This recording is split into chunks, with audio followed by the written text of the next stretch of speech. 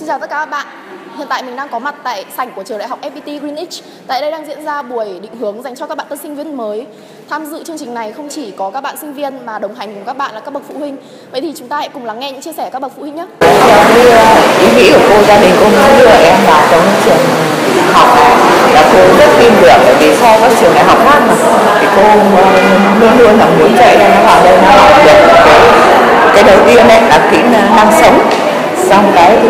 là cho em thứ hai là nó có uh, được một cái kiểu như là học tiếng Anh đấy nó uh, chắc chắn là nó so với các trường đại học bên ngoài tiếng Anh ở đây cô nghĩ là vào đại học tốt nhất. Cô cũng uh, cô xin học cho em ở trường đại học FPT và cô cũng rất mong muốn là em sẽ học tốt.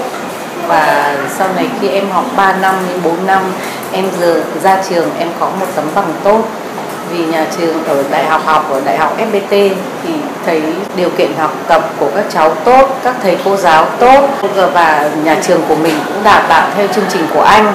Đến năm ta là gia đình cũng rất mong muốn là cho em học được những cái văn minh của ờ, bên trường đại học FPT và trường đại học Anh. thì ông cái sự chuẩn bị của trường là rất tốt là bình nói là và hướng dẫn các cháu vào từng lớp để phát biết thủ tục nhập học.